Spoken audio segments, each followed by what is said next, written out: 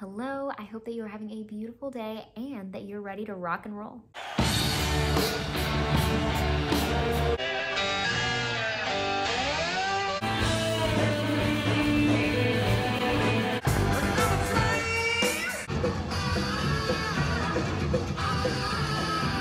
have some hard-hitting, bittersweet facts to face right now. Taking a look at the bright side, today's Led Zeppelin day. We get to consume their brilliance and artistry, and I'm always over the moon for that. On the flip side, today we're closing a very powerful and impactful chapter. Track one of side numero cuatro, we have Night Flight.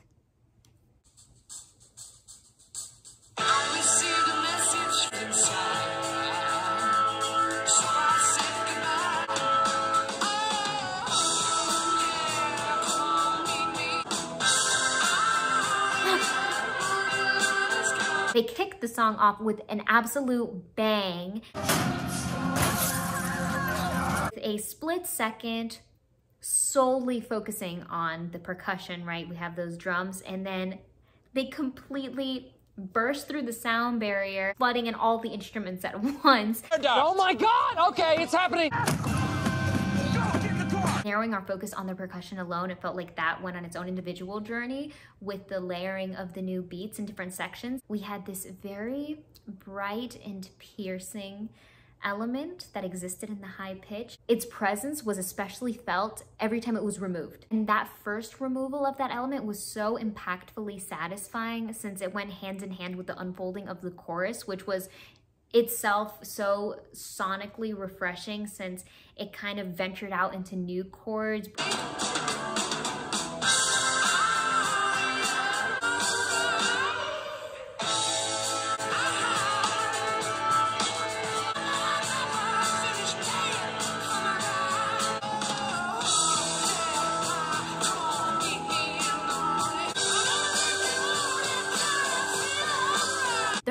Characters that I feel are the true driving forces of this song.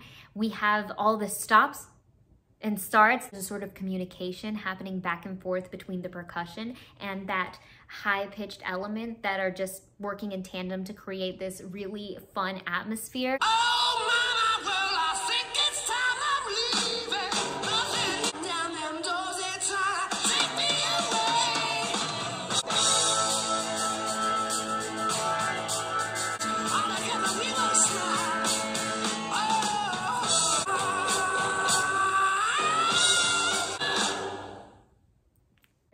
playful and lively nature that came through that was immaculately paired with the brightness of the sounds of the musicality and the instrumentation and the chord sequencing.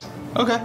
I think it felt very, very major. Love to take a look at the mixing of things and hear how some elements feel like they're pushed to the back, pushed to the front. Everything felt very, very forward, very in our face. Okay. When it came to the vocals, we had a very, very delectable rasp and I felt like it leaned into a sort of human-made distortion. Okay. At number two tonight, we have the Wanton song.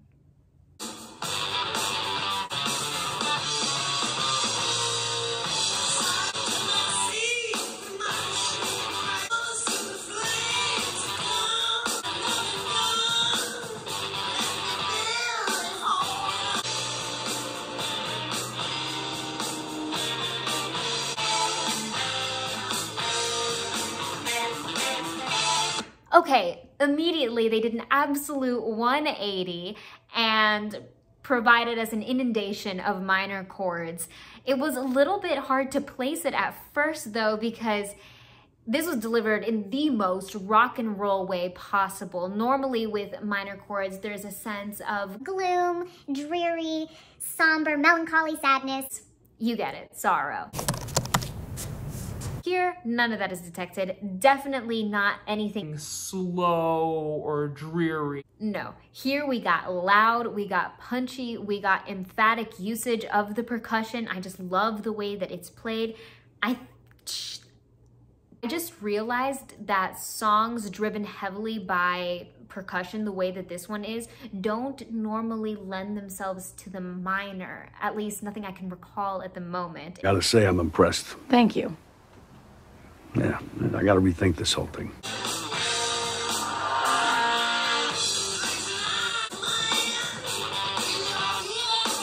Piggybacking off of our comments off of the last track where I felt like the vocal was very forward in the placement of the mixing of the track. It feels like here we have the opposite happening. We have that man-made distortion still coming through brightly, but it feels like it is aided and abetted by um, some filtering or mixing down in the engineering. It feels like uh, the voice is being pushed under. However, the explosiveness is still coming through as if it was right in our face, which is causing this kind of broken radio effect, like really, really cool.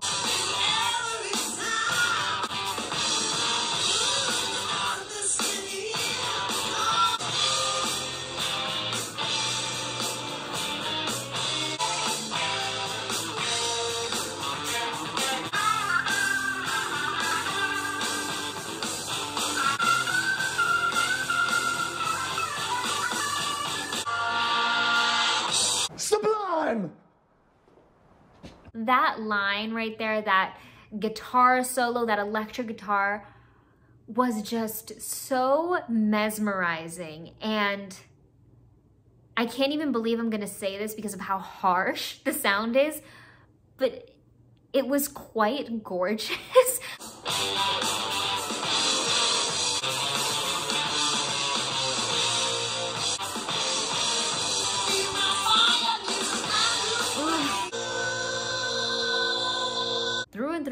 this one was true rock and roll paradise. Like I've never heard a minor chord driven song be truly through the usage of the percussion, the um, riff, and the motif that would end some of the phrasing pandemonium. At the dead center, we have number three, Boogie with Stu.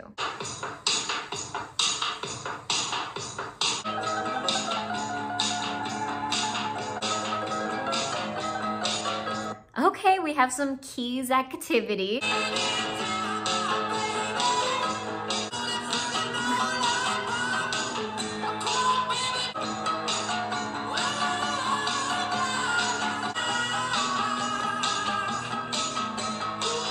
There's a bit more simplicity coming through with this one. There is still uh, brightness shining through, but it's a little bit more raw and acoustic and dare I say a little folksy country-esque.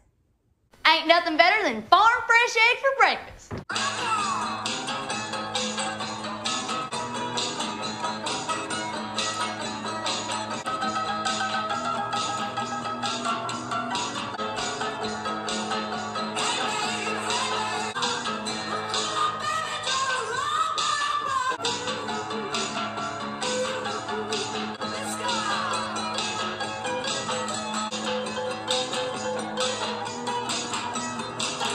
Plucked nature is coming through. I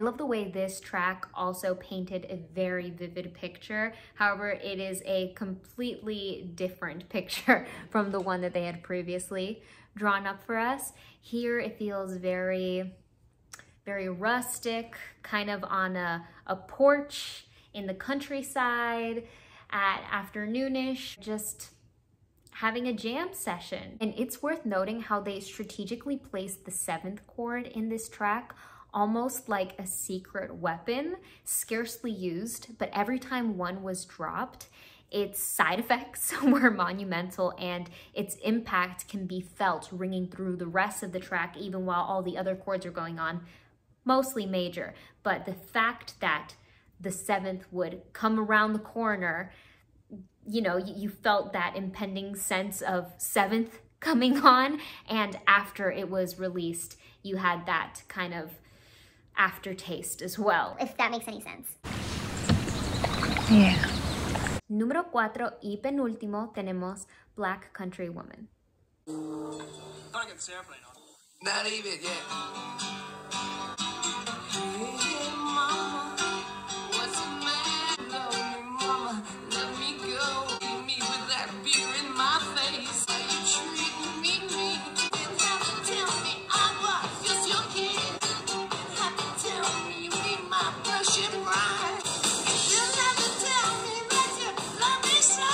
This song is so interesting because it feels like every single element is existing in its own world.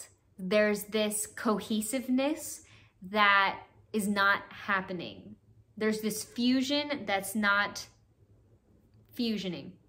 It's it, it's not it's not going through. It feels very disconnected and discombobulated, but I feel like that's the point of this song and that's the character. And through that, it's a lot of fun. Um, personally, it's hard for me to connect to this song at all because of everything that's going on.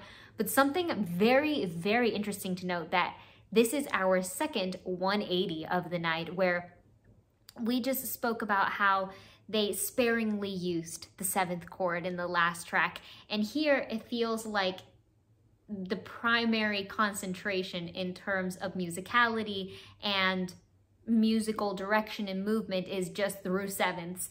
And that's adding to the discombobulated nature of this song.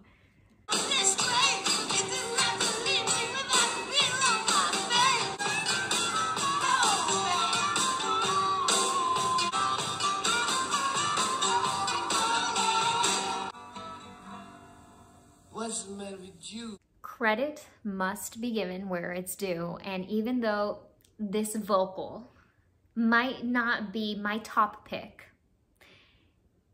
you gotta admit that there were levels, there were textures explored, and it showed quite a range. There was some humor incorporated, which is very difficult to do and keep professional. I did enjoy this thoroughly. I think that, will never be a problem with this track. This track will always come through as fun, but there are some nights that this is just going to be a no for me. And there are some nights where this is gonna be a super yay. Today it's not a super yay for me, but it's also not a no either. It's just, I was expecting different for our second to last song. I, I was expecting different. She was different. Oh. For our very last song of the night, I am going to not learn from any of my mistakes and I'm going to have the highest of hopes and place every single expectation I have for them to just bring it home. And how could I not with a title like Sick Again? I, I already like this song. I, I don't even need to hear it. I love it. Good night. Okay, that was just an ad. That scared me.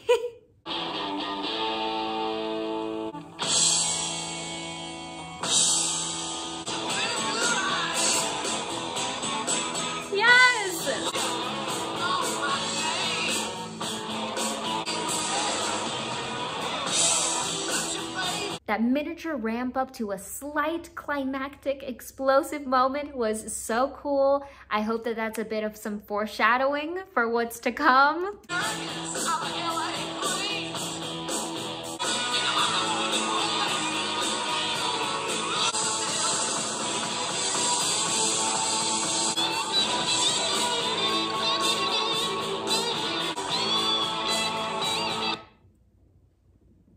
This electric guitar is literally electricity. It is the lightning cutting through the thunderstorm that is the percussion. That's what's happening.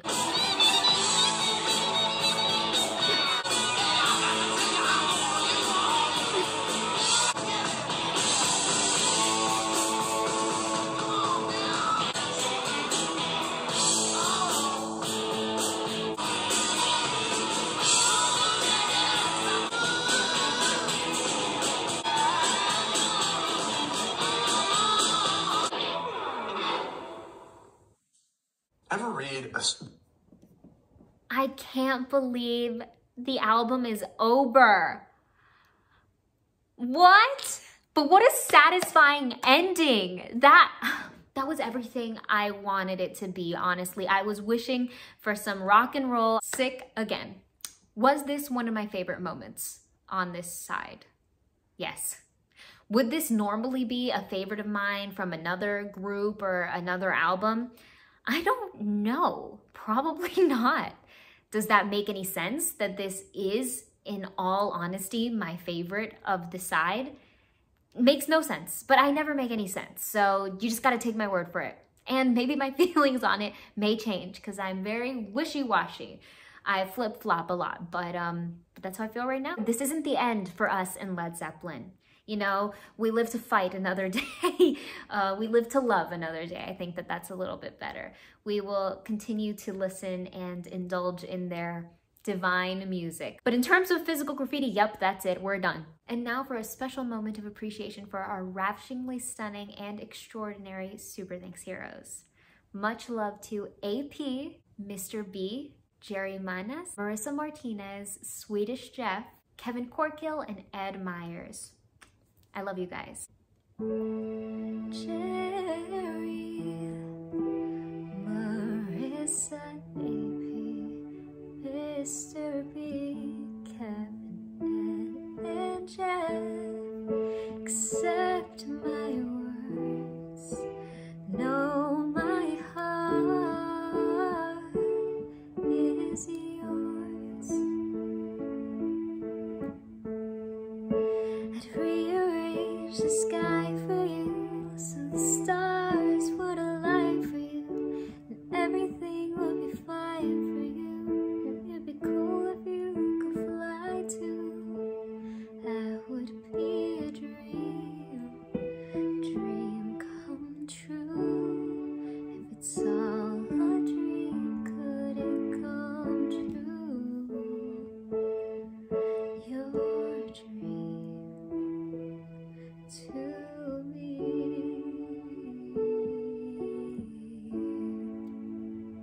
And since last week, we introduced the idea of having a special Super Thanks Easter hero, I'm going to be incorporating a new special Super Thanks hero of each new video. And for today, we have AP.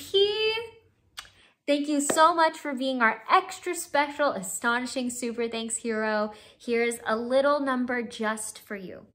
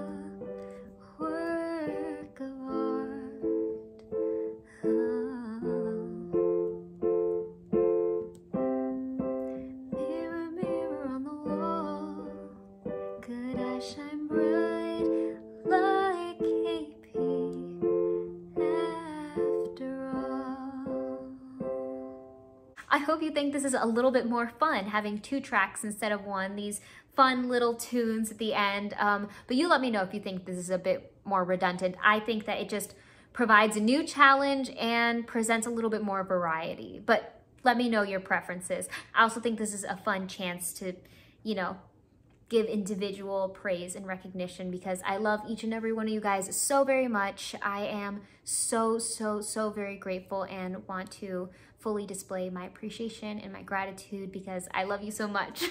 Until next time, drink lots of tea, read some poetry, and take it easy.